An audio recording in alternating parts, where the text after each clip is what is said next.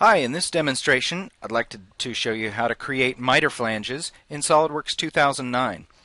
I'll begin with a simple model that's just a, a flat base flange that was created uh, out of just a rectangular sketch.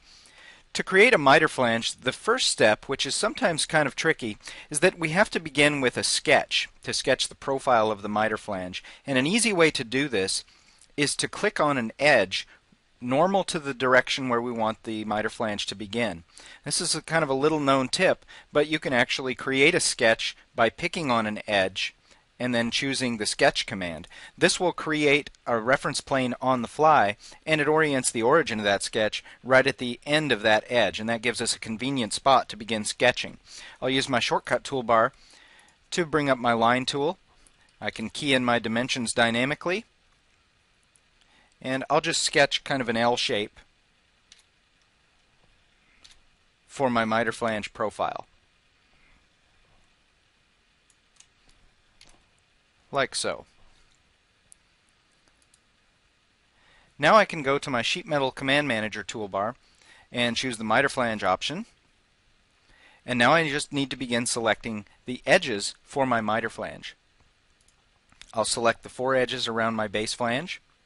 And notice how SOLIDWORKS is trimming out the, uh, the mitered corners at the intersections of each of those edges.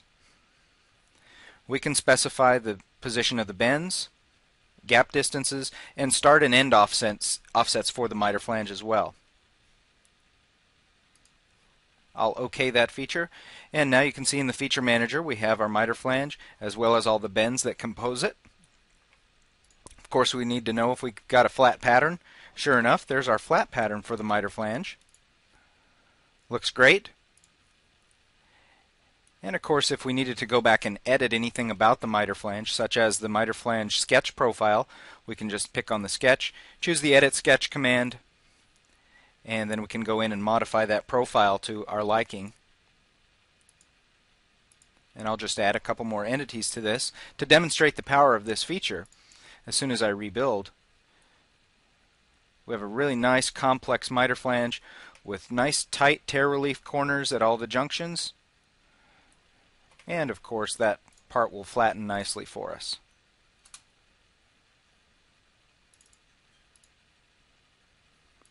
So that's the miter flange command in SOLIDWORKS 2009.